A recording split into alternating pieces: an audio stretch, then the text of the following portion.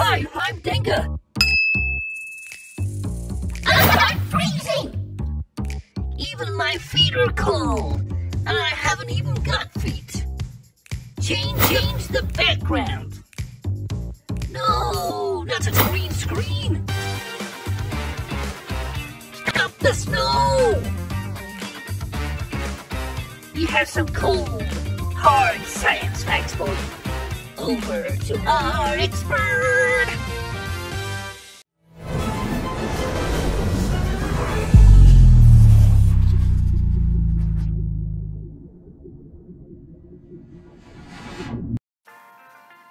Hello, I'm Rodney, the penguin.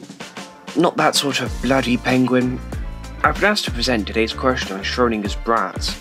Miss Mildred Radiator from Padiham, England, has messaged us at Schrodinger's Brats HQ. She'd like to know why penguins' feet don't freeze to the icy floor. Antarctica, you can get way below freezing, like minus 30 degrees Celsius, and everything is covered in snow and ice. It's bloody cold. The life of a penguin basically consists of walking around frozen lands and diving into icy waters for food. And oh yes, we poo every 20 minutes. Bit of a boring life really. No Netflix, no Amazon, YouTube, Disney Plus. No bloody Wi-Fi. But lots of smelly fish, yum. I penguins don't walk backwards. With that said, it's a wonderment to you humans how our bare feet don't stick to the floor without us wearing boots or socks. the answer is penguins have specifically adapted feet.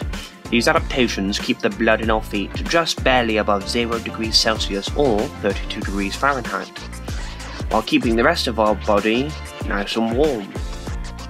Penguins keep their body warm with downy feathers and thick layers of fat our feet are specifically designed for swimming and walking on the frozen, slippery, icy ground. Our feet are featherless and webbed with lots of surface area, so it's really easy for them to lose heat.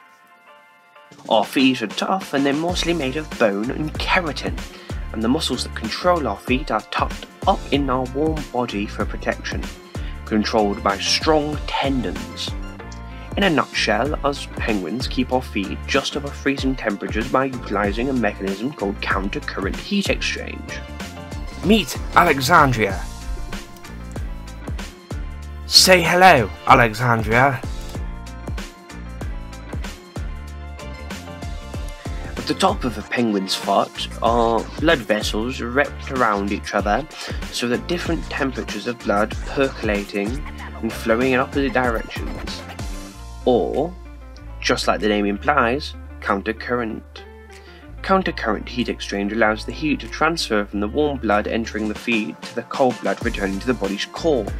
So, by the time the blood gets down to the feet, most of the heat has already been carried back up keep those important muscles and organs and body parts warm.